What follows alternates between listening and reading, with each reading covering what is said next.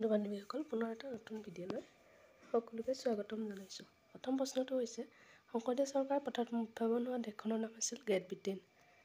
প্ৰকৃততে কাৰ্যপালিকা আৰু বিধানমণ্ডলৰ সম্পৰ্ক থকা ঠাইখন হৈছে শংকৰদেৱ চৰকাৰ। ভাৰতীয় জনতা দলৰ গঠন কেতিয়া হৈছিল? ঊনৈছশ আশী চনত।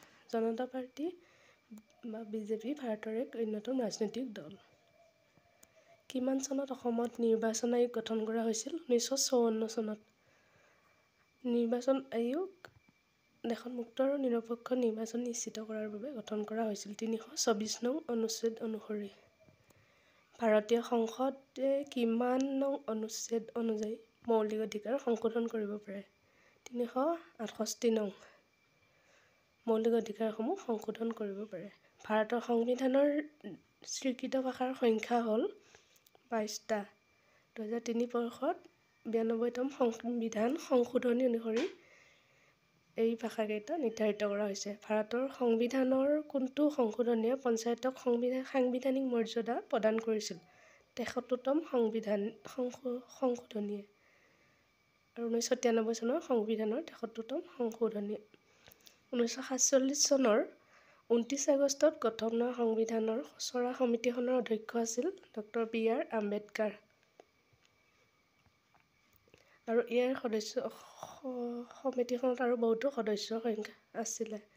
কেবিনেট মিছন ভাৰতলৈ কেতিয়া আহিছিল? ঊনৈছশ ছয়চল্লিছ চনৰ মাৰ্চ মাহত। ঊনৈছশ ছয়চল্লিছ চনৰ ষোল্ল মে'ত ব্ৰিটিছ চৰকাৰে ব্ৰিটিছ ভাৰতৰ অধীনত থকা এই কেবিনেট মিছন গঠন কৰিছিল। ভাৰতৰ প্ৰথম মহিলা ৰাজ্যপাল হ'ল সৰোজনী নাইডু।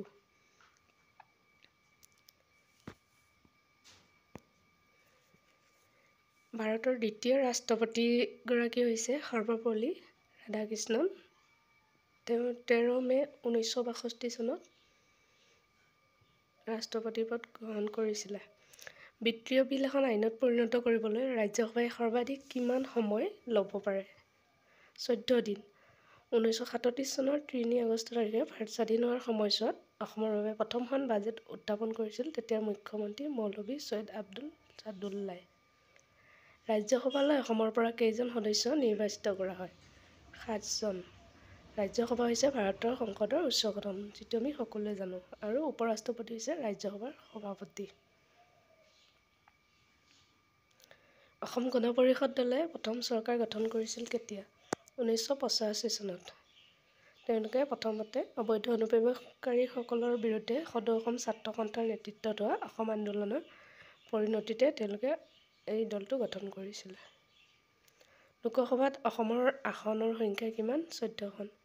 লোকসভা হৈছে ভাৰতীয় সংসদৰ নিম্ন সদন বা নিম্নকক্ষ। ইয়াৰ সদস্যসকলক সাংসদ বুলি কোৱা হয় যিটো আমি ইংৰাজীত এম পি বুলি কওঁ। প্ৰতিজন সংসদে এটা নিৰ্দিষ্ট ভৌগোলিক সমষ্টিক প্ৰতিনিধিত্ব কৰে। ভাৰতৰ প্ৰথম মুখ্য নিৰ্বাচনী আয়ুক্ত কোন আছিল? সুকুমাৰ সেন। তেওঁ দুই জানুৱাৰী nineteen sorry eighteen ninety eight thirteen May' পৰা নাইনটিন ছিক্সটি থ্ৰীলৈকে আছিলে। ভাৰতৰ প্ৰথম উপ প্ৰধানমন্ত্ৰী আৰু ভাৰতৰ প্ৰথমগৰাকী গৃহমন্ত্ৰীৰ নাম কি? চৰ্দাৰ বল্লভভাই পেটেল ওঠৰশ পঁয়সত্তৰ চনৰ একত্ৰিছ অক্টোবৰত গুজৰাট ৰাজ্যৰ খেদা জিলাৰ নাদিয়াত বল্লভভাই জাবেৰভাই পেটেলৰ জন্ম হৈছিলে। ৰাজ্যসভাৰ সদস্যৰ কাৰ্যকাল কেইবছৰ? ছয় বছৰ। ৰাজ্যসভাৰ এজন সদস্যৰ কাৰ্যকাল হৈছে ছয় বছৰ আৰু প্ৰত্যেক ছয় বছৰৰ পিছত তিনিভাগৰ এভাগ সদস্যৰ ম্যাদ শেষ হয় আৰু এই ধৰণে খালী হোৱা আসনসমূহ পূৰণ কৰা কৰাৰ বাবে তেওঁলোকে নিৰ্বাচন অনুষ্ঠিত কৰে। এখন বিল বিত্তীয় বিল হয়নে নহয় কোনে নিৰ্ধাৰিত কৰে? লোকসভাৰ অধ্যক্ষই সংসদৰ নিম্ন সদনৰ লোকসভাৰ সভা পৰিচালক সাধাৰণতে লোকসভাৰ অধ্যক্ষৰ নিৰ্বাচনৰ লোকসভাৰ প্ৰথম বৈঠকত কৰা হয় আৰু কাৰ্যকাল হয় পাঁচ বছৰ। লোকসভাত বাজেট কোনে উত্থাপন কৰে? বিত্তমন্ত্ৰী the chancellor is the minister in the British government who makes decision about finance and taxes. ক'বচোন বৰ্তমান অসমৰ বিত্তমন্ত্ৰীগৰাকীৰ নাম কি? চাৰক্ৰিয়া আই কোনে গঠন কৰা? কেতিয়া গঠন কৰা হয়? ঊনৈছশ তিৰাশী চনত।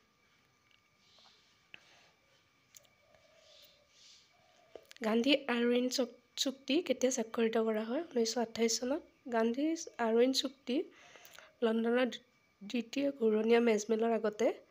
ঊনৈছশ একত্ৰিছ চনৰ পাঁচ মাহত মহাত্মা গান্ধী আৰু ভাৰতৰ ভাইচৰয় লৰ্ড আৰউইনৰ দ্বাৰা স্বাক্ষৰিত এক চুক্তি। ভাৰতীয় সংবিধানৰ মূল বৈশিষ্ট্য হ'ল এক নাগৰিকত্ব। আমি সকলোৱে জানো ভাৰতীয় সংবিধানখন হৈছে এক নাগৰিকত্ব আৰু এখন অভিনৱ সংবাদ। ইয়াত বিভিন্ন দেশৰ সংবিধানৰ এক মিশ্ৰণ দেখিবলৈ পোৱা যায়। ঊনৈছশ ঊনপঞ্চাছ চনত গ্ৰহণ কৰা ভাৰতৰ সংবিধানখনৰ বহুতো মৌলিক পৰিৱৰ্তন গৈছে বিশেষকৈ সংবিধানৰ সপ্তম অনুসূচী ভাৰতীয় সংবিধানত কিমানটা অনুচ্ছেদ আছে? চাৰিশ আঠচল্লিছটা। আৰু অনুচ্ছেদ আৰু অনুসূচী কিমান আছে? জনাবচোন।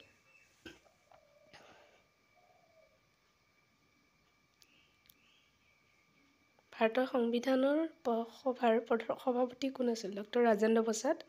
তেখেতে ঊনৈছশ পঞ্চাছ চনৰ ছাব্বিছ জানুৱাৰী সাৰ্বভৌম ভাৰত গণৰাজ্যৰ প্ৰথম ৰাষ্ট্ৰপতি হিচাপে কাৰ্যভাৰ গ্ৰহণ কৰিছিল। ঊনৈছশ একৈছ চনৰ পৰা সহযোগ আন্দোলনৰ লগত জড়িত আছিল। ভাৰতৰ সংবিধানৰ অভিভাৱক কোন? উচ্চতম ন্যায়ালয় ছুপ্ৰিম কোৰ্ট অফ ইণ্ডিয়া ই হৈছে ভাৰতৰ সৰ্বোচ্চ বিচাৰ বিভাগীয় অধিকৰণ আৰু ভাৰতৰ সংবিধানৰ অধীনত সৰ্বোচ্চ আপিল আদালত। সংবিধান সভাৰ প্ৰথম অধিৱেশন কেতিয়া অনুষ্ঠিত হৈছিল? ঊনৈছশ ছয়চল্লিছ চনৰ ন ডিচেম্বৰ। ভাৰত সংবিধান ভাৰতীয় প্ৰজাতন্ত্ৰৰ সৰ্বোচ্চ আইন আৰু এই সংবিধান চৰকাৰ গঠন কাৰ্যপদ্ধতি ক্ষমতা আৰু কৰ্তব্য নিৰ্ধাৰণ মৌলিক অধিকাৰ ৰাজ্য পৰিচালক। এই কৰ্তব্যসমূহ নিৰ্ধাৰণ কৰা হয়। ধন্যবাদ